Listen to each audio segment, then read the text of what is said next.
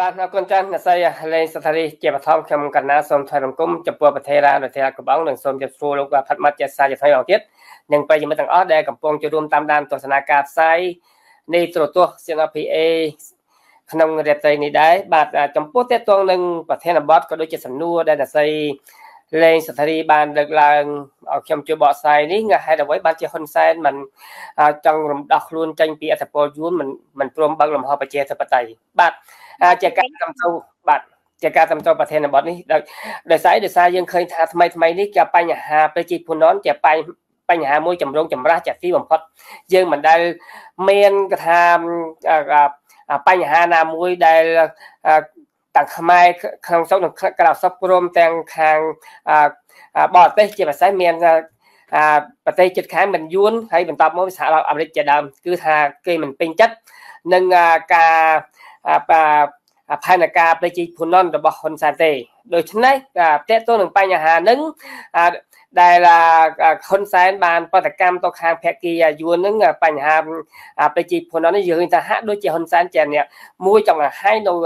នៅជាតិនិយមក៏ប៉ុន្តែទស្សនវិជ្ជាចាស់ស្ដែងបើយើងមើលឃើញទង្វើនឹងការដឹកនាំរបស់ហ៊ុនសែនសប្តាហ៍ថ្ងៃហាក់ដូចជាគ្រាន់តែជានយោបាយប្រជាភិតដើម្បីចង់សាកល្បងទឹកចិត្តប្រជាពលរដ្ឋខ្មែរមានចំណូលបែបណាដែរចំ ពោះការមិនពេញចិត្តនឹងប្រទេសយួនក៏ដូចជានគមនគមជនយួនដែលកំពុងរស់នៅក្នុងប្រទេសខ្មែរដូច្នេះយើងឃើញថាការលើកឡើងរបស់ហ៊ុនសែនការកន្លងហើយព្រមទាំងសកទួយនឹងលោកខាងអីម្នាក់ទៀតខ្ញុំមិនបានចាំស្គាល់ច្បាស់បាទបាទលោកកសិភាពហ្នឹងណាយើងឃើញថាបន្តតាមហ៊ុនសែនទាំងអស់ក៏ប៉ុន្តែទស្សនវិជ្ជាចាស់ស្ដែងយើងឃើញថា ខាង Peggy Yun គេអត់បានឆ្លើយតបអ្វីទាំងអស់ទាក់ទងនឹងបញ្ហានេះហើយទី2ទៀតយើងថាបើប៉ះសិនជាហ៊ុនសែនចង់បង្ហាញថាខ្លួនចង់រំដោះខ្លួនចេញពីប្រទេសយួនមិនចង់ដកដង្ហើមចេញពីប្រទេសយួនមិននោះយើងឃើញថាផ្លូវស្រួលដែលអាចធ្វើបានគឺថាបើកលំហប្រជាធិបតេយ្យស្ដារឡើងវិញនៅលទ្ធិប្រជាធិបតេយ្យទៅនេះដោះលែងអ្នកទោស មនសការក៏ដូចជាអ្នកទោសដែលហ៊ុនសែនចោលប្រកាន់ដែលអត់មានមូលដ្ឋានហ្នឹងជាពិសេសគឺដូចជាលោកកឹមសុខាជាដើមណាបាត់ធានគណៈបកមួយតំណាងឲ្យប្រជារាស្ត្រមួយចំហៀងនគរមិនមែនមិនមែនធម្មតាទេគឺមួយចំហៀងនគរដែលគណៈបកសង្គ្រោះជាតិនឹងប្រជាជនគាត់គ្រប់គ្រងជាង3លាននាក់យើងឃើញថាគាត់ចោលប្រកាន់ដោយអត់មានភេទផុសតាំងច្បាស់លាស់នេះរហូតដល់បច្ចុប្បន្ននេះ มันមានស្អីជាងសក្ខីភាពទេមានតែខ្សែវីដេអូមួយខ្លីដែលលោកកឹមសុខាបានថ្លែងការនៅប្រទេសអូស្ត្រាលីនៅឆ្នាំ2013តែប៉ុណ្្នឹងឯងក្រៅពីនោះมันមានផុសតាំងអ្វីដែលជាគួរតែដាក់តម្ងន់ទៅលើមេបពប្រឆាំងក៏មិនតែមិនព្រមដល់លេងណាដូច្នេះអាបញ្ហាដែលថាហ៊ុនសែនចង់រំដោះខ្លួនចេញពីអធិពលយូរនេះខ្ញុំថានេះជានយោបាយប្រជាប្រដ្ឋទេ មានចាំពិធីណាស់ដែលហ៊ុនសែនចង់ឲ្យ ប្រទេសខ្មែររួចជាពីអធិពលយួនគ្រាន់តែបើកលំហប្រជាធិបតេយ្យគឺថាហ៊ុនសែនរួចដល់ខ្លួនឯងហើយបើថ្ងៃណាមួយយួនចង់រស់រឿងរស់ហេតុអីហ៊ុនសែនគឺគាត់យកកើតមិនអាចចាត់ប្រកាន់ទៅដែរព្រោះប្រទេសខ្មែរជាប្រទេសប្រកាន់យករបស់ប្រជាធិបតេយ្យសេរីភូប៉ដែលបោះឆ្នោតរៀងរាល់5ឆ្នាំតែម្ដងរៀងរាល់5ឆ្នាំដូច្នេះបើថាយួនទៅហ៊ុនសែនក្បត់មិន អានេះជារឿងរបស់យួនក៏ប៉ុន្តែយើងអនុវត្តតាមគោលការណ៍លទ្ធិប្រជាធិបតេយ្យនៅស្រុកខ្មែរទៅអានឹងវារំដោះខ្លួនចេញពីយួនក៏ប៉ុន្តែការពិតហ៊ុនសែនក៏តែនិយាយតែមកទេមិនអាចរំដោះខ្លួនបានទេបើបើបើសិនជាហ៊ុនសែនហេនតែបើកលំហប្រជាធិបតេយ្យមែនទេណាគឺថាមិនត្រឹមតែគណៈបកប្រជាជនក៏ថារលាយទេគឺថាសកលហ៊ុនសែនក៏អាចរងគ្រោះដែរមិនខុសអីស្អីដូចជាកាលពីប្រទេសលីប៊ីដែល ប្រធានអធិបតីងាំ Gaddafi ដែរដូច្នេះរឿងអស់តែនឹងយើងឃើញថាហ៊ុនសែនគ្រាន់តែនយោបាយប្រជាប្រដ្ឋទេបងប្អូនអត់មានកំណត់ចង់រំដោះខ្លួនចាញ់ចេញពីយួនទេហើយថ្មីថ្មីនេះណាថ្មីថ្មីនេះខ្ញុំទៅតែទទួលបានស្ដាប់ព័ត៌មានពីខាងវិទ្យុអាស៊ីសេរីដែលឯកអគ្គរដ្ឋទូតចិនបានចិត្តអស់អាណត្តិដែលគេត្រឡប់ទៅប្រទេសចិនវិញដូរឯកអគ្គរដ្ឋទូតថ្មីចំណុះខ្លួននឹងហើយឯកអគ្គរដ្ឋទូតដែលរៀបអស់អាណត្តិនឹងបានទៅជួប បានបានទៅជួបស្ថាប័នទាំង3គឺស្ថាប័នរដ្ឋសភាផងស្ថាប័នព្រឹទ្ធសភាផង និងលោកហ៊ុនម៉ាណែតទៀតណាมันគេជួបស្ថាប័នកម្ពុជាកម្ពុជាទាំង3ហ្នឹងហើយគេគេបាននិយាយចំផ្ទាល់នឹងមុខគេថាឲ្យកម្ពុជាត្រូវតែដឹងអគុណចិនដោយសារដោយសារចិនគ្រប់គ្រងនយោបាយរបស់ប្រទេសកម្ពុជាដែលដឹកនាំដោយហ៊ុនសែនទី1 ទី2ប្រទេសកម្ពុជាចិនជាអ្នកកសាងហេដ្ឋារចនាសម្ព័ន្ធមានផ្លូវថ្នល់មានស្ពានមានប្រទេសស្អីជាដើមឡើងឡើងតែយើងខ្ញុំចង់ចំណុចនេះខ្ញុំចង់លើកជាសំណួរសួរទៅខាងប្រជាពលរដ្ឋនិងខាងរាជរដ្ឋបាលកម្ពុជាយ៉ាងវិញតើសពថ្ងៃប្រទេសខ្មែរដែលកសាងដោយមិត្តដៃថែរបស់ហ៊ុនសែនសួរតើគេកសាងដោយអត់យក ធ្វើលុយគេគេកសាងដោយគេថាអត់តាមអត់ទេឬគេមិនបើបើសិនជាអ្នកឯងកសាងឲ្យខ្មែរដោយអត់គិតលុយគិតកាក់អានឹងគួរតែខ្មែរដឹងគុណក៏តែខ្មែរបានខ្ចីលុយអ្នកឯងកសាងប្រទេសខ្មែរប្រទេសខ្មែរខ្វះលុយចិនវល់កទៅហើយសួរតើអ្នកឯងហៅខ្មែរអរគុណអ្នកឯងដល់ណាទៀតមានអត់មានអ្វីមួយដែលជាការអរគុណទេហើយអារឿងបញ្ហាដែលចាប់អារម្មណ៍មួយទៀត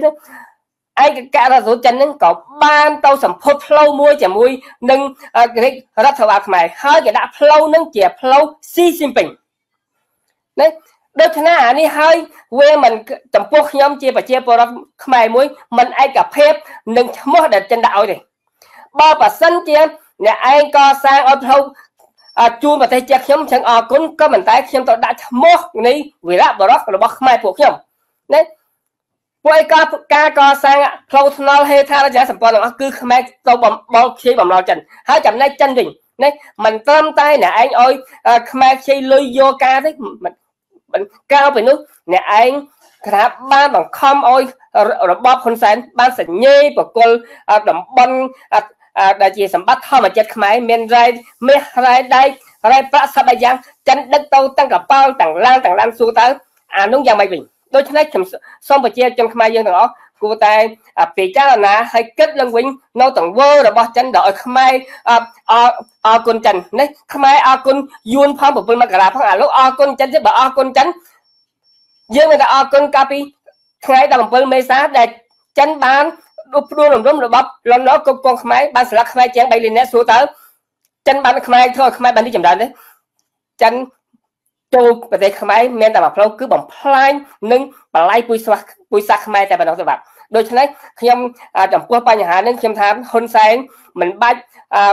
ចាំឌឺដងពាក្យសម្ដីផ្លែផ្កាទៅឲ្យយួនឬក៏ចិនទេគ្រាន់តែបើហ៊ុនសែនចង់រើបំរាស់ខ្លួនចេញពីអធិពលយួនក្រុមអាណានិគមរបស់យួនគ្រាន់តែបើកលំហប្រជាធិបតេយ្យស្ដារឡើងវិញលទ្ធិប្រជាធិបតេយ្យបើកចំហ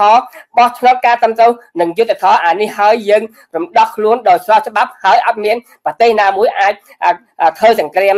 រាំងចូលជាមួយខ្មែរបានទេបាទខ្ញុំសូមអរគុណ ចាសូមអរគុណលោកដៅហ៊ុនដែរអឺការលើកឡើងរបស់លោកហ្នឹងគឺមានហេតុផលមួយ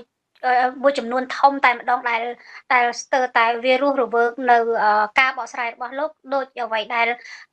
លោកលោកស្រីអ្នកនាងកញ្ញាដែលជនរួមជាតិទាំងអស់ដែលកំពុងទៅទស្សនាហ្នឹងស្ទើរតែបានន័យថាបានឃើញនៅទង្វើរស់រវើកដែលលោកកំពុងតែបកស្រាយអញ្ចឹងមានន័យថា ការបកស្រាយរបស់លោកនិងទង្វើរបស់ហ៊ុនសែននឹងវាស្របគ្នាតែម្ដងចាស់គាត់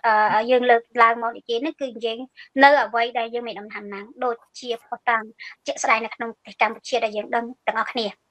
ចាឥឡូវខ្ញុំបកមកលោកផាត់ម៉ាត់វិញម្ដងចាដោយសារតែលោកលោកដៅហ៊ុនបានលើកឡើងអំពីថាអឺបើសិនជាហ៊ុនសែនចង់រំដោះខ្លួនចង់ដកដង្ហើមដែលខ្លួនឯងឈប់ដកឈប់ឲ្យយួននឹងជួយដកដង្ហើមអីនឹងចឹងជាដើម តើខ្ញុំចង់ជម្រាបសួរទៅលោកវិញថា ការដែលឲ្យយូទៅដកដង្ហើមពីយួនចុះបើសិនជាខ្លួនឯងមិនចាំបាច់ដកដង្ហើមពីយួនហើយក៏អឺ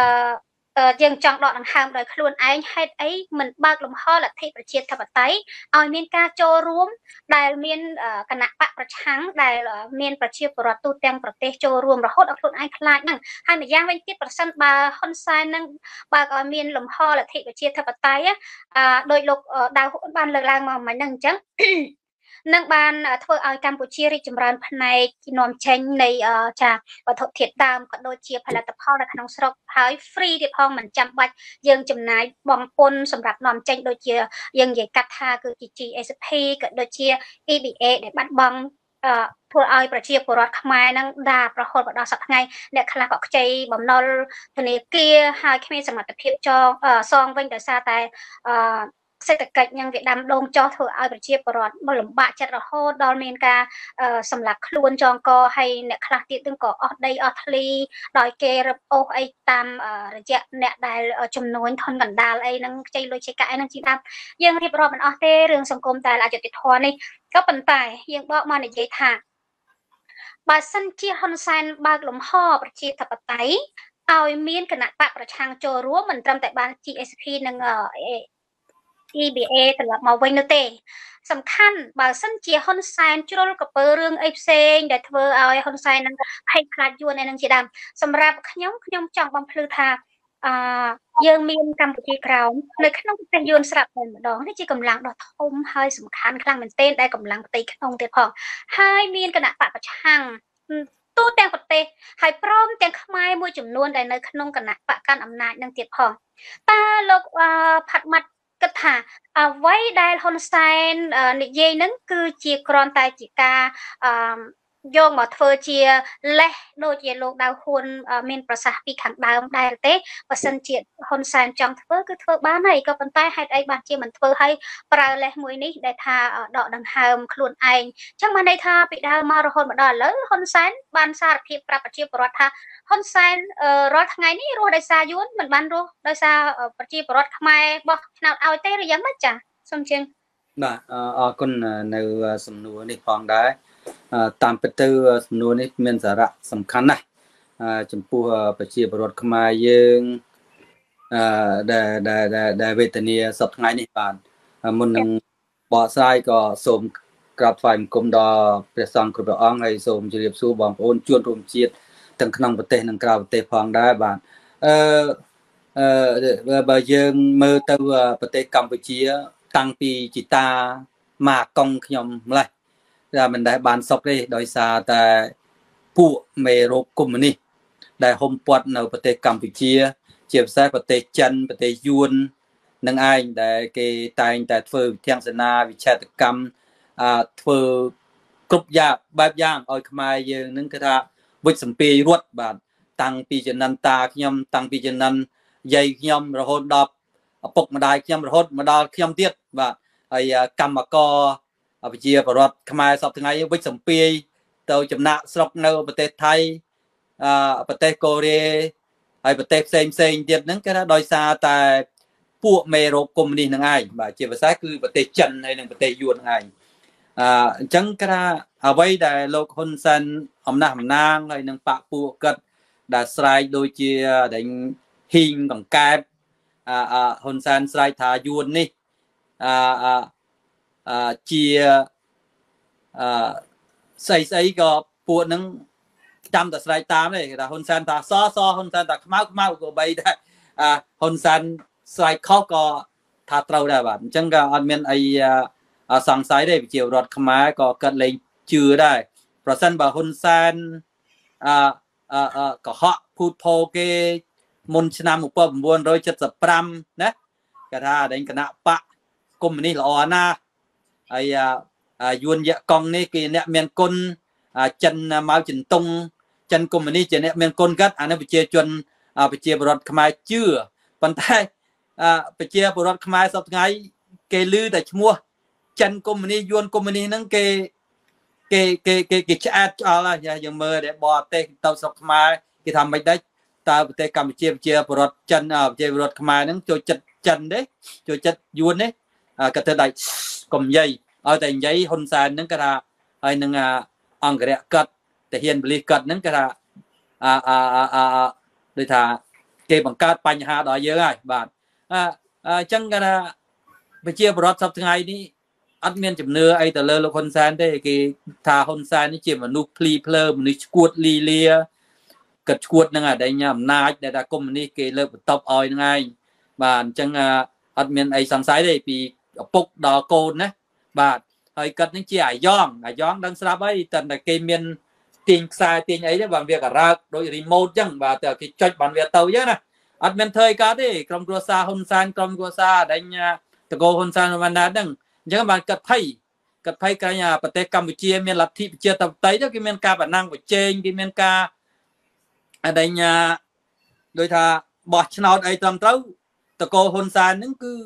zero ហើយតកោហ៊ុនសែនហ្នឹងអត់មានអាណាបោះឆ្នោតឲ្យទេគាត់បានដឹងរួចហើយអញ្ចឹងហើយបានជាគាត់ខំអេបអបចិនខំអេបអបយួនទោះបីប្រទេសពីរនឹងចង់បានអីក៏គាត់ឲ្យដែរហ្នឹងហើយហើយយើងដឹងហើយថាចិនហ្នឹងគេថា7មករា17មេសាដោយលោកដាវហ៊ួននិយាយហ្នឹងគេថាសម័យខ្មែរក្រហមចន្លោះឆ្នាំ1975ដល់79ហ្នឹងមានដែលញ៉ាអាប្រតិភូចិនហ្នឹង ចិត្ត10000នាក់ណា8000ប្រហែលចិត្ត9000នាក់ណាហើយពួកហ្នឹងមកហ្នឹងគេថាដោះវ៉ាពោះស្គុយស្គុយដើរកប៉ាត់ដៃយើងអដែញស្ទូងដកជួរស់នៅតាមវាស្រែអីដែលថាធ្វើស្រែ12ម៉ោងហើយបានផលមកបានស្រូវបានផ្លែឈើលឹកឬមួយស្អីហ្នឹងគេដឹកទៅប្រទេសចិនហ្នឹងហើយយើងអ្នកអ្នកខំធ្វើហ្នឹងគេអត់ឲ្យទទួលទានគ្រប់ទេគេឲ្យ យើងញ៉ាំបបរឲ្យយើងទទួលទានបបរអញ្ចឹងណាអញ្ចឹងគេថាអត់មានមន្ទីរពេទ្យអត់មានអដេញសាលារៀនហើយគេអាហ្នឹងគេគេគេអានេះគេថា genocide ណាសម្រាប់រង្គាលអាហ្នឹងវាលពិឃាតហើយអាហើយអាហ្នឹងមួយចន្លោះឆ្នាំ1975ទៅដល់79ហ្នឹងគឺចិនហើយអ្នកណានៅពីក្រមចិនគឺយួនបាទគឺយួនដូចអាយួនបាទហើយយួនថា អាឆ្លៀនពៀនកម្ពុជាផងឆ្លៀនពៀនលាវផងឆ្លៀនពៀនអដេញយួនខាងត្បូងផងដោយសារអ្នកណាជួយដោយសារពួកកុម្មុយនីសអដេញអាខ្មែរយមិញយកងគឺមានហ៊ុនសានជាស៊ីម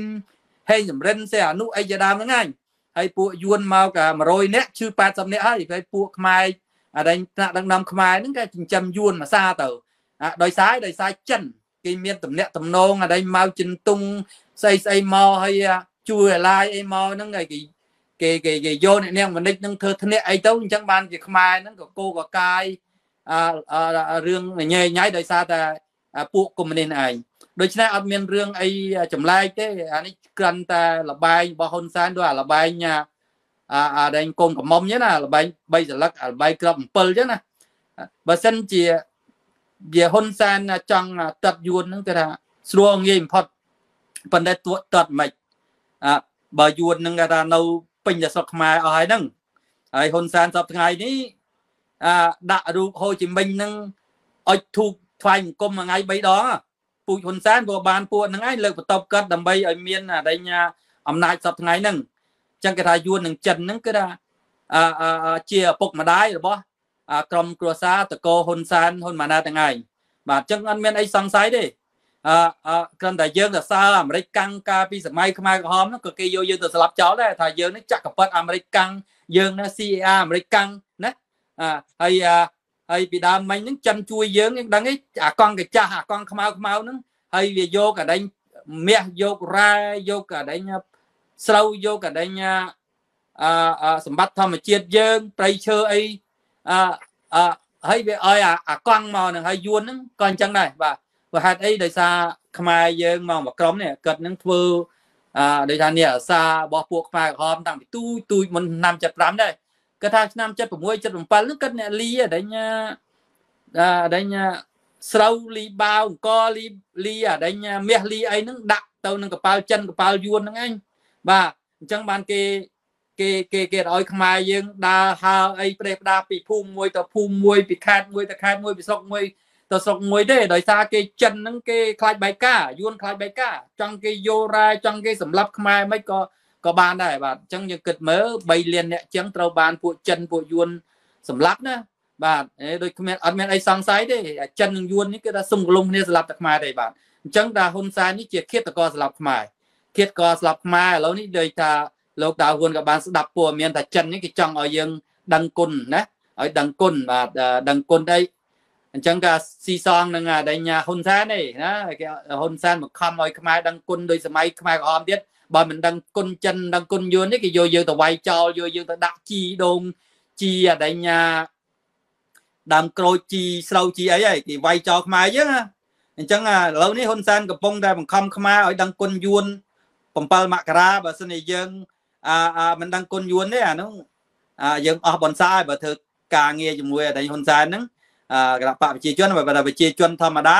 ឲ្យតែហ៊ានថាសឡមជូយួនក៏គេយកយងទៅដាក់គុកដែរបានអញ្ចឹងទាំងអស់នេះហើយដែលប្រជាជនខ្មែរគេ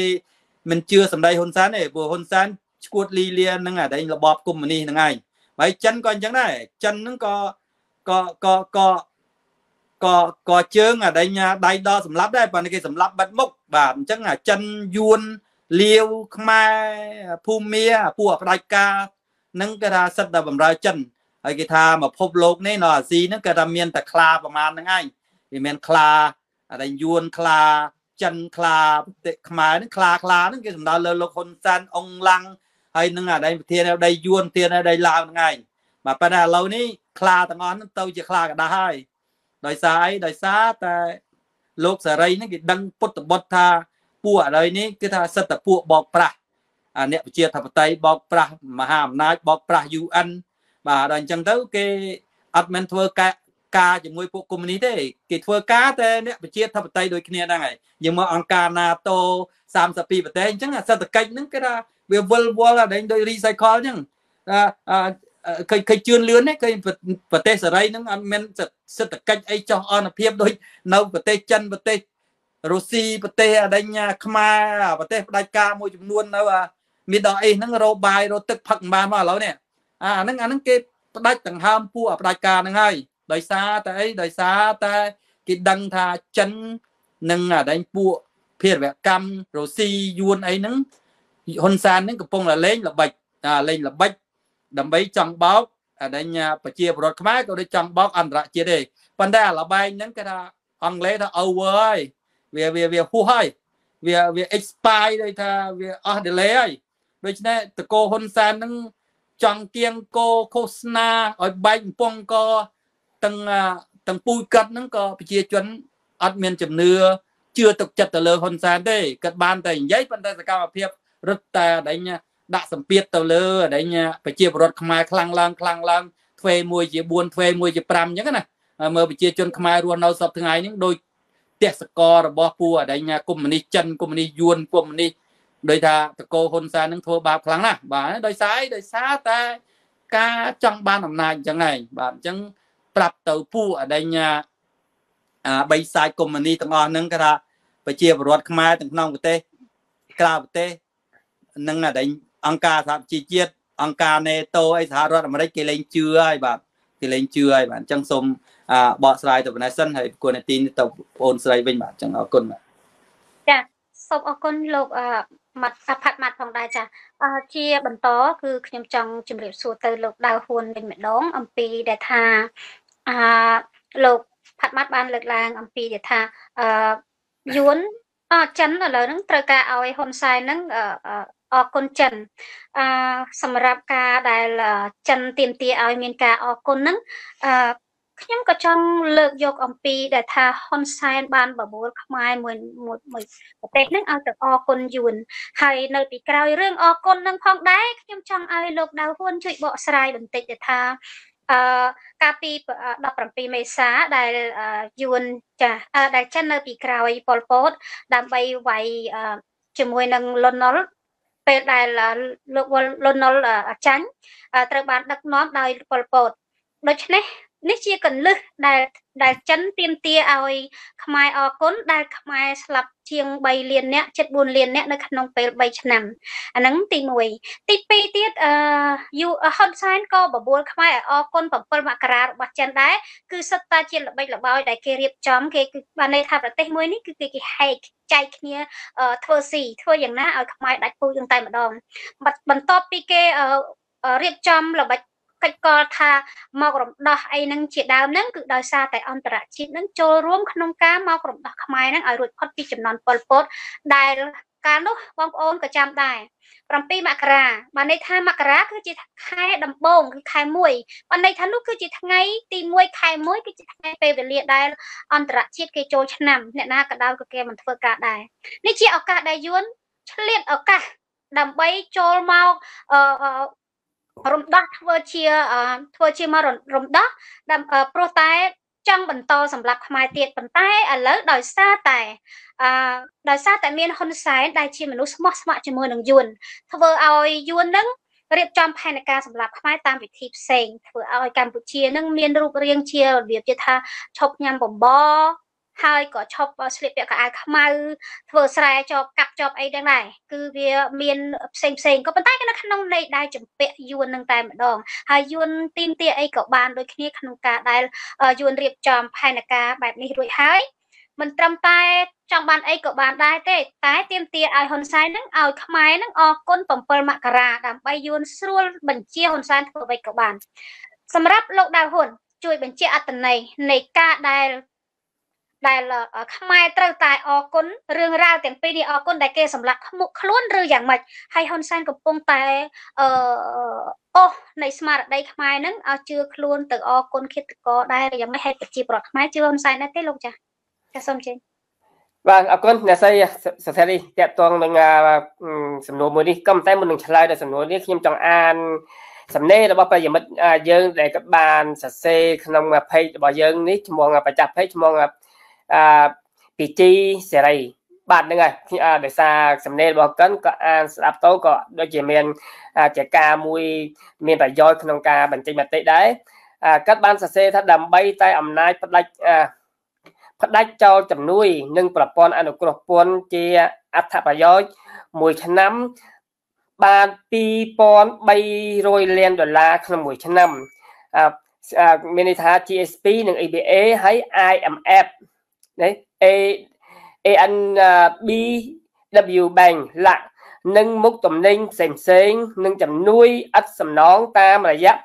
NGO ផ្សេងផ្សេងរាប់រយរៀលដុល្លារក្នុងមួយឆ្នាំសម្រាប់គម្រោងវិនិយោគអភិវឌ្ឍមូលដ្ឋានហៅថាថវិកាវិនិយោគឃុំសង្កាត់ របបអាចោមេខេតកហ៊ុនសែនហ៊ុនម៉ាណែតនិងបពពួកវេនេះវេមិនព្រមធ្វើតាមសហគមន៍អឺរ៉ុបនិងអន្តរជាតិឡើយបាទហ្នឹងហើយជាការត្រឹមត្រូវដូច្នេះមក មុននឹងឆ្លើយនៅបណ្ដាឆ្លើយនៅសំណួរនៃស័យសុធារីបានលើកឡើងនឹងការលើកឡើងរបស់គាត់ក៏មានពាក់ព័ន្ធនឹងប្រធានបទយើងយប់នេះដែរដោយសារដោយសារបញ្ហាការអគុណយួនយើងដឹងស្រាប់ហើយគឺថាដោយសារយួនជាអ្នកបន្តហ៊ុនសែនឲ្យឡើងដឹកនាំប្រទេសខ្មែរដូច្នេះហ៊ុនសែនទៅអគុណ7មករាក៏មិនតែការពិតថ្ងៃ7មករាខ្មែរយើងទាំងអស់ គ្នាយើងដឹងហើយជាថ្ងៃដែលយួនលើកតបមកឆ្លៀនពៀនប្រទេសកម្ពុជាមិនមែនជាថ្ងៃដែលយួនលើកតបមកជួយរំដោះកម្ពុជាផុតពីវាពិឃាតទេបើប៉ះសិនជាយួនពិតជាមានកំណត់ចង់រំដោះខ្មែរចេញពីផុតពីវាពិឃាតចុះហេតុអ្វីយួនបង្ខំឲ្យហ៊ុនសែនបង្កើតក5សម្រាប់ខ្មែររាប់សែនរាប់ម៉ឺនរាប់សែនអ្នកទៀតក្រោយពីខ្លួនដែលបានគ្រប់គ្រងប្រទេសកម្ពុជាក្នុងរយៈពេល10ឆ្នាំ ណាដូច្នេះយើងឃើញទាំងអស់គ្នាដឹងហើយមិនមែនគេមកជួយរំដោះខ្មែរបើជួយរំដោះខ្មែរគេជួយទាំងគ្រប់សម្ភារៈទាំងខេតក៏ជួយកសាងខាងហេដ្ឋារចនាសម្ព័ន្ធអីសពបែបយ៉ាងក៏មិនដែលការពិតអត់មែនទេបងប្អូននេះអានេះជាការមួយដែលយើងគួរតែដឹងគឺយើងគួរតែសិក្សានៅចម្រូវនៅចិត្តគំនិតដែលយួនចង់រំលោភ លេបយកកម្ពុជាកណ្ដាលឲ្យបានដូចជាទឹកដីកម្ពុជាគមយើងយើងសប្តាហ៍ដូច្នេះយើងដឹងទាំងអស់គ្នាយើងមិនបាច់បកស្រាយវិញច្រើនទេតាក់ទងនឹងថ្ងៃ7មករាឥឡូវតាក់ទងនឹងបញ្ហាថ្មីថ្មីនេះយូរហៅឲ្យខ្មែរទៅអរគុណចិនទៀតនេះអានេះហើយជាចំណុចមួយថ្មីហើយជាក៏បញ្ហាមួយថ្មីសាឡាងសម្រាប់ប្រជាពលរដ្ឋខ្មែរដូច្នេះការដែលចិនហៅខ្មែរឲ្យហ៊ុនសែនទៅតែអរគុណចិនហ្នឹងវាបង្កប់ នៅអត្ថន័យស៊ីចម្រូវក្នុងបញ្ហានេះដោយសារអីដោយសារទី1យើងមើលឃើញថាដំបូងឡើយចិនបានកសាងមូលដ្ឋានតបនៅសមុទ្ររៀមដោយហ៊ុនសែនខុបខិតជាមួយចិនចុះឯកសារសម្ងាត់ឲ្យចិនកសាងមូលដ្ឋានតបនៅសមុទ្ររៀមមូលដ្ឋានតបជើងជើងទឹកឥឡូវចិនបានកថាចតនៅកប៉ាល់ចម្បាំងរបស់ខ្លួនប្រចាំការនៅសមុទ្ររៀមជាពីរគ្រឿងហើយនេះបន្តមក ក្រោយពីសមុទ្ររៀមក៏មូលដ្ឋានតសមុទ្ររៀមបានកសាងជាស្ថាពរឥឡូវគេនឹងកម្រងការឲ្យបង្ខំហ៊ុនសែនជីអាពេលជីភុនទៀតដើម្បីដើម្បីស្រួលក្នុងការដឹកជញ្ជូនផបភេយោធាបើប៉ះសិនជាថ្ងៃណាមួយសង្គ្រាមភូមិសាស្ត្រនយោបាយ Indo-Pacific បានខ្ទុះឡើងរវាងអាមេរិកនិងចិនយើងអាចគិតថាអាមេរិកវានឹងកបិតអាចរកនៅផ្លូវសមុទ្រអន្តរជាតិនៅកថាឈូងសមុទ្រថៃ ដូច្នេះចិនជាការលំបាកមួយសម្រាប់ដឹកផលភ័យយោធារបស់ខ្លួនតាមប្រព័ន្ធផ្លូវសមុទ្រនឹងដូច្នេះគេមានអាផ្លូវជីកមួយថ្មីដើម្បីចូលតាមផ្លូវនឹងក្នុងការតទល់សង្គ្រាមជាមួយពួកបច្ចិមទេសអានេះចំពោះការយល់ឃើញរបស់ខ្ញុំដូច្នេះការលើកឡើងរបស់ចិនឲ្យខ្មែរឲ្យហ៊ុនសែនដឹងគុណចិនហ្នឹងវាមានន័យថាហ៊ុនសែនឯងត្រូវតែជីអាចិច្ចពេលជីភូននឲ្យបានជាស្ថាពរបើប៉ះសិនជាហ៊ុនសែនមិនមិនធួបានសម្រេចអាពេលជីភូននទេ គឺថាចិននឹងដោះដៃគេបានគេបានបញ្ជាក់ហើយគេថាដោយសារចិនបានគ្រប់គ្រងនយោបាយហ៊ុនសែនណាអាពាក់នឹងយើងគួយយើងគិតទាំងអស់គ្នាគ្រប់គ្រងនយោបាយហ៊ុនសែនក៏ប៉ុន្តែបើនយោបាយហ៊ុនសែននេះមិនធ្វើតាមសំណើរបស់ខ្ញុំទេនយោបាយរបស់អ្នកឯងនឹងស្លាប់របបលោកឯងនឹងរលំដូច្នេះអានេះហើយជាសារនយោបាយមួយយើងគួរពិចារណាឲ្យចាប់អារម្មណ៍ទាំងអស់គ្នាអានេះចំណុចទី1ចំណុចទី2ដូច្នេះខ្ញុំសូម ផ្ញើសារនេះដល់ប្រជាពលរដ្ឋខ្មែរទាំងអស់ក្នុងអឺប្រទេសខ្មែរដែលព្រឹកជីភូណននឹងច្បាស់ជាចេញជារូបរាងក្នុងថ្ងៃណាមួយគេអត់ទៅធ្វើហើយរបបកុម្មុយនីសឲ្យសម្គាល់មើលហ៊ុនសែនតាតាថាធ្វើគឺបើធ្វើឲ្យវាមិនខ្វល់នរណាទេវាពុយប្រកាសថាប្រទេសកម្ពុជាជាកម្មសិទ្ធិរបស់ហ៊ុនសែនបដិយុចង់ប៉ះលេងដូច្នេះប្រជាប្រដ្ឋយើងគួរតែប្រុងប្រៀបស្មារតីឲ្យប្រុងប្រៀបនៅកថា ទង្វើអយុត្តិធម៌ពេលដែលពេជីភូណនបានចាប់ដើមឥឡូវយើងឃើញណាថាហ៊ុនសែនអាពេជីភូណនដើម្បីលើកស្ទួយសេដ្ឋកិច្ចប្រជាពលរដ្ឋឥឡូវយើងក៏លេចមើលអតីតកាលដូចជាបញ្ហាប្រជាពលរដ្ឋនៅភូមិបង្កក់នៅដេញគ្នាចាញ់បូមបូមបូមគេថាទឹកបូមខ្សាច់ចូលលិចទឹកផ្ទះគ្នាហើយជួងគ្នាទៅតំបន់ភ្នំបាទនេះជាតំបន់មួយដាច់ស្រយាលអត់មានរចនាសម្ព័ន្ធអ្វីទាំងអស់នេះ យកចាប់ប្រជាពលរដ្ឋនៅតំបន់ភ្នំបាទនឹងដោយអត់មានសំណងសំទៅអានេះទី1ហើយយើងស្រឡឹងទៅមើលខាងបឹងតមោកឥឡូវបឹងតមោកសពថ្ងៃក៏កំពុងរងគ្រោះដោយបញ្ហាដែរហើយសួរតើមានសាសនាឲ្យប្រជាពលរដ្ឋនៅបឹងតមោកអត់ទេនេះប្រជាជនបឹងតមោកចេញបដកម្មតវ៉ាទេមទេអស់សងសំណងតាមទីសាពិតប្រកបសន្យាមួយថ្ងៃហើយមួយថ្ងៃទៀតឥឡូវសួរទៅដល់ពេលហ្នឹងប្រជាពលរដ្ឋដែលរងគ្រោះដោយអាសាដេញចេញពីបឹងតមុកប្រមាណគ្រួសារបានទទួលសំណងដោយ ដោយត្រឹមត្រូវអត់មានទេបងប្អូនហើយយើងងាកទៅខាងខេត្តសៀមរាបវិញណាដូចគ្នាដេញចម្លៀសប្រជាពលរដ្ឋជាង10000គ្រួសារក៏មិនតែមិនតាមបានចម្លៀសទាំងអស់ទេក៏តែគ្រួសារដែលបានចម្លៀសចេញពីតំបន់ត្រូវគេដេញហ្នឹងទៅព្រមបានទៅអាអាខាងអីទូតឯករុនតឯកបាទបាទទៅរុនតឯកនេះសន្យាថាអោយដាច់បានក្រីក្រនេះក្នុងរយៈពេល10ឆ្នាំ ហើយគ្រាន់តែគ្នាចេញផុតទៅទៅទទួលបានក្រីក្របើកអាលុយសម្រាប់បានក្រីក្រមិនតាន់បានប្រហែលខែកាត់ឲ្យលុយក្រីក្រគ្នាទៀតគឺថារបបហ៊ុនសែនជារបបបោកប្រាស់ទាំងបងប្អូនពលរដ្ឋស្រឡាញ់មើលទង្វើរបស់ហ៊ុនសែនដូច្នេះតេតងនឹងបញ្ហាព្រៃជីបើបើសិនជានយោបាយបោកប្រាស់ហ៊ុនសែនទៅលួងលោមទៅអង្វរកប្រជាពលរដ្ឋថាចេញឈិនតោចាំគេសោះសំដងក្រោយ ចំពោះខ្ញុំខ្ញុំថាសុកចិត្តស្លាប់លើដីរបស់ខ្លួន còn បើជាងរុះរើផ្ទះនៅតំបន់ផ្សេងរបបកុម្មុយនីសវាមិនដែលឲ្យប្រជាពលរដ្ឋបានរស់បានស្រួលទេបងប្អូនអត់រស់បានស្រួលទេគេចង់ឲ្យប្រជាពលរដ្ឋយើងក្រដើម្បីដើម្បីស្រួលក្នុងការគ្រប់គ្រងស្រួលក្នុងការកថាតាមដានណាតែយើងមនុស្សយើងតែធាក់គុំក្រគ្មានអ្វីខ្លាំងជាងកាពះទេ បើចង់ធ្វើនយោបាយទៅតែកាពះឆ្អែតសិនទេបើបើកាពះយើងវាមិនឆ្អែតហើយកម្លាំងណាធ្វើនយោបាយអានេះហើយជាគោលការណ៍របស់កុម្មុយនីសគេធ្វើម៉េចគេថាបង្ក្រាបប្រជាជនឲ្យខ្លៅក្លៀនខ្លាយអានឹងហើយជានយោបាយរបស់គេដូច្នេះតើតើនឹងបញ្ហាអគុណរបស់ចិននឹងនេះខ្ញុំសូមលើកថែមមួយចំណុចទៀតឥឡូវយើងមើលមើលដូចលោកផាត់ម៉ាត់បានលើកកាលពីសម័យខ្មែរខ្មែរក្រហមអញ្ចឹងនេះកម្មអភិបាលរបស់ចិនគេមកនៅស្រុកខ្មែរហ្នឹងប្រហែល 4 8 9ពាន់អ្នកហ្នឹងអាម្នាក់ម្នាក់ក្បាលពោះខុសវិញក៏ប៉ុន្តែមកមើលប្រជាពលរដ្ឋយើងស៊ូងស្រូវជ្រោះស្រូវកដាលវាកដាលថ្ងៃអត់មានបាយហូបគ្រប់គ្រាន់ហើយវាឈោមើលយើងតើវាចាត់ទុកខ្មែរយើងចសៃវាមិនចាត់ទុកប្រជាប្រដ្ឋយើងខ្មែរជាមនុស្សដែរឬក៏ចាត់ទុកប្រជាប្រដ្ឋខ្មែរយើងជាជាទេសកលនយោបាយឬក៏ប្រជាប្រដ្ឋខ្មែរយើងជាជាសត្វដេរឆានអានេះហើយជាការឈឺចាប់បងប្អូន ណាហើយអ្នកឯងអរខ្ញុំអរគុណឯងក្រោយណាសម័យខ្មែរក្រហមលោកឯងជាគ្រប់គ្រងណាខ្មែរធ្វើស្លាយមួយឆ្នាំមួយឆ្នាំរាប់កថារាប់ពាន់រាប់លានហិតាដឹកទៅឲ្យចិនចិនឲ្យមកវិញបានតាមបកីបានចប់កាប់ដីតែប៉ុណ្ណោះនេះប្រជាជនខ្មែរហូបបានមិនគ្រប់ហើយទីទីពីរទៀតសម្បត្តិធម្មជាតិខ្មែរអាចចិនយកទៅប្រទេសវាទាំងអស់រហូតដល់បច្ចុប្បន្នដូចគ្នាអានេះហើយជាការជឿចាប់ដូច្នេះអារឿងចិត្តហ្នឹងយើងមិនត្រូវ អរគុណវាទេវាមកកសាងប្រទេសខ្មែរគឺយើងខ្ចីលុយវាយើងខ្ចីលុយវាហើយយើងសំប្រទេសដីឲ្យវាទៀតកន្លែងខ្លះយើងសំប្រទេសដីឲ្យចិនដាំចេកហើយសួរតើខ្មែរយើងមិនចេះដាំចេកឬយ៉ាងម៉េចអានេះហើយជាតើក្បត់ចិត្តរបស់ហ៊ុនសែនដើម្បីអំណាចណាខ្មែរមានដីរស់ខ្មែរអត់មានដីធ្វើកសិករសុកចិត្តសម្បត្តិឲ្យគេខ្មែរធ្លាក់ខ្លួនក្រធ្វើការចំណាក់ស្រុកហើយសួរតើចន្ទថាចូល កសាងហេដ្ឋារចនាសម្ព័ន្ធស៊ូទៅប្រជាប្រដ្ឋខ្មែរបានទទួលផលអីអ្វីខ្លះពីហេដ្ឋារចនាសម្ព័ន្ធរបស់ចិនដែលកសាងឲ្យខ្មែរមិនមែនទេណាមិនមែនបើថាចិនចង់ជួយខ្មែរគួរតែជួយប្រជាពលរដ្ឋខ្មែរកំពុងធ្លាក់ខ្លួនក្រីក្រណាជួយស្ដារសេដ្ឋកិច្ចឲ្យខ្មែរ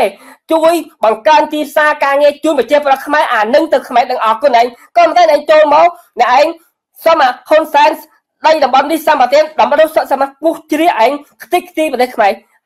ហើយមិនតាមតែប៉ុណ្ណោះរ៉ែសម្បត្តិធម្មជាតិរ៉ែដូចខ្ញុំបានលើកខាងដើមរ៉ែមាសរ៉ែដែករ៉ែប្រាក់អីនេះភ្នំដែលមានថ្មមានតម្លៃតម្លៃអាចិនបន្ទុះយកដឹកទៅប្រទេសទាំងកប៉ាល់ទាំងកប៉ាល់សួរតើអាចិនមកជួយខ្មែរឬអាចិនមកបង្ហាញបំផ្លាញប្រទេសខ្មែរដូចគ្នាសូមប្រជាប្រដ្ឋខ្មែរគួរតែភ្ញាក់លើកឲ្យចាប់អារម្មណ៍នៅតង្វើថោកទាបរបស់អាចិនអាងខ្លួនឯងជាមហាអំណាចមកជាសង្កត់ប្រទេសតូចតាចមកបំផ្លាញប្រទេស តូចតាចចង់យកប្រទេសតូចនេះធ្វើជាឆ្នំធ្វើជាអនាគតរបស់ខ្លួនយើងមិនគ្រប់គ្រងជាដាច់ខាត់គួរតែក្រោកឡើងដល់គ្នាប្រឆាំងនឹងទង្វើរបស់អាចិនអស់ពីយូរណាស់ដល់ចិនយើងមិនអាចទទួលយកបានទេបាទចាអរគុណលោកដៅហ៊ុនចាបកស្រាយ នៅអ្វីដែលលោកកំពុងតែបកស្រាយហ្នឹងគឺជាទស្សនវិជ្ជាដែលឈឺចាប់បំផុតដែល ប្រជាពលរដ្ឋទូទៅគាត់គ្មានឱកាសបាននិយាយអរគុណលោកខ្លាំងមែនទែនដែលបានបកស្រាយចំនួនពួកគាត់យើងចង់និយាយថាប្រជាពលរដ្ឋនៅក្នុងប្រទេសរស់នៅស្ទើរតែខ្លាយជាមនុស្សពលពួកគាត់មិនដឹងចិត្តទាំងព្រមប៉ុណ្ណាទេចង់បកស្រាយចង់និយាយណាស់ចង់ស្ទុះស្ទាខ្លាំងណាស់ប៉ុន្តែហាមាត់គុកបិទមាត់គុកបែបនេះចាសម្រាប់លោកលោកអំផាត់ម៉ាត់វិញម្ដងអឺ ក្នុងការលើកឡើងរបស់លោកដៅហ៊ួនដែលបានលើកឡើងអំពីថាអឺបើចង់អឺ ដោះស្រាយឬក៏រំដោះខ្លួនចេញពីយួនអីនឹងជាដើមតែត្រូវធ្វើយ៉ាងម៉េចខ្លះនឹងលោកដៅហ៊ុនបានលើកហានៅក្នុងចំណុចមួយនេះហើយតើលោកមើលឃើញក្នុងចំណុចដែលថាគេចង់ដកដង្ហើមខ្លួនឯងតែបញ្ជាក់ថាពីដើមមកគេដកដង្ហើមដោយសារតែយួនជាអ្នកដកដង្ហើមដូច្នេះហើយបានជាបបួលខ្មែរទូទាំងប្រទេសហ្នឹងទៅអរគុណអ្នកដែលមានគុណលើខ្លួនឯងប៉ុន្តែបបួលខ្មែរដែលរងគ្រោះឬក៏ជាពិសេសពូជសាសន៍ខ្មែរហ្នឹងគឺត្រូវបានរងគ្រោះដោយសារតាមការតាមសម្លាប់របស់យួនហើយនឹងចិននឹងតែម្ដងហើយហ៊ុនសែនក៏ទាមទារឲ្យខ្មែរយើងនឹងទៅអរគុណគេឯនឹងជាដើមអឺសម្រាប់ពេលនេះដែលដូចគ្នាតើលោកលោកយងផាត់យល់ថាបើហ៊ុនសែនចង់ដកដង្ហើមខ្លួនឯង ហ៊ុនសែនគួរតែតំណាក់តំណងលោកសំរងស៊ីដែលជាមនុស្សបរិសុទ្ធមិនចម្ពាក់គុណយួនក៏មិនចម្ពាក់លុយចិនដែរហើយគឺជាមនុស្សដែលអាចបង្កើតក៏ដូចជាពង្រីកនៃផ្លូវសេដ្ឋកិច្ចដើម្បីប្រទេសដ៏តូចមួយដ៏កំសត់មួយនេះហើយយើងដឹងហើយថាប្រទេសរបស់យើងនឹងគឺជាប្រទេសកសិកម្មយើងអាចនាំចេញមកក្រៅប្រទេសក្រៅដែលជាប្រទេសដែលមិនអាចធ្វើកសិកម្មបានហ្នឹងជាពិសេសប្រទេសរបស់យើងនឹងមានជាប់មាន EBA និង GSP ទៀតផងប្រសិនបើហ៊ុនសែនបើកឲ្យមានលទ្ធិប្រជាធិបតេយ្យដូច្នេះឱកាសដែលហ៊ុនសែនបានកសាងគេឈ្មោះរបស់ខ្លួនក៏ក៏មាន ហើយហ៊ុនសែនក៏បានចាបលែងឲ្យកម្ពុជាមានអ្នកដឹកនាំដែលនាំកម្ពុជាឲ្យស្មើមុខស្មើមាត់ជាមួយគេតាមរយៈសេដ្ឋកិច្ចដែលលេចធ្លោដើម្បីយកមកប្រៀបធៀបនៅលើពិភពលោកដែល សហរដ្ឋអាមេរិកព្រមទាំងចាតែម្ចាស់ EBA និង GSP ហ្នឹងមិនយកពន្ធលើប្រទេសកម្ពុជាទេធ្វើឲ្យកម្ពុជានឹងទទួលបានហើយទទួលបានទៀតគិតតែពីរឿងចំណេញតែម្ដងសម្រាប់លោកវិញតើហ៊ុនសែនគួរតែបោះដៃមកលោកសំរងស៊ីដែរឬទេបើសិនជាចង់ឲ្យប្រទេសឯករាជ្យឬក៏ហ៊ុនសែនមិនចង់ទេហើយគាត់គិតអីលោកអាចពន្យល់បានទេចាសសូមជឿបាទអរគុណអឺម្ដងទៀតនៅសំណួរនេះអឺ តាមពិតទៅអ្នកប្រជាធិបតេយ្យតែងតែបោះដៃទៅអឺពួកផ្ដាច់ការផងដែរដើម្បីសហការស្រោចស្រង់ប្រទេសកម្ពុជាបាទហើយពួកអឺដែលញ៉ារបបហ៊ុនសែនហ្នឹងកាត់បោះដៃមកអ្នកប្រជាធិបតេយ្យនៅពេលណាកាត់អស់អំណាចដូចថាខ្សោយអំណាចដូចថាធ្លាក់ឆ្នោតឆ្នាំ1993ឃើញទេអឺកាត់ធ្លាក់ឆ្នោតហើយឃើញសឹងតា អាចរណរិទ្ធនឹងជួសមកហ៊ុនសែនចង់ទៅទៅទៅទៅតបាក់ទៀតឲ្យតែគេឲ្យធ្វើនាយករដ្ឋមន្ត្រីទី2ណាឃើញទេអូអេបអបឲ្យតាំងពីអដេញកប៉ាល់ហោះអាឡេកុកទែឲ្យតាំងពីស្រីឲ្យតាំងពីផ្ទះឲ្យតាំងពីដីឲ្យទាំងអស់បាទហ៊ុនសែនកណាគាត់ថាអស់អំណាចគាត់ប៉ាន់អេបអបគេប៉ាន់គាត់យកចិត្តគេណាបាទហ្នឹងគាត់រៀនពីពួកកុម្មុយនីសចិនពីកុម្មុយនីសយួនបាទព្រោះ កុម្មុយនីសគេមានអឺដូចថាផែនការច្បាស់លាស់ណាដំណើរឆ្ពោះទិសខាងលិចហ្នឹងគេមិនទៅតែយកឆ្លៀនពៀប្រទេសយើង4 10 20 30ឆ្នាំនេះរាប់រយឆ្នាំហើយឥឡូវនេះគេបានស្ថាពរហើយហ្នឹងហើយអញ្ចឹងបាន UN ហ្នឹងគេបានបង្កើតកិច្ចព្រមព្រៀងសញ្ញាកុងប៉ារីសហ្នឹងដើម្បីអឺទប់ស្កាត់បាទកាត់បន្ថយអំណាចពួកកុម្មុយនីសឲ្យចេះគោរពសិទ្ធិមនុស្សឲ្យចេះគោរពលទ្ធិប្រជាធិបតេយ្យអឺ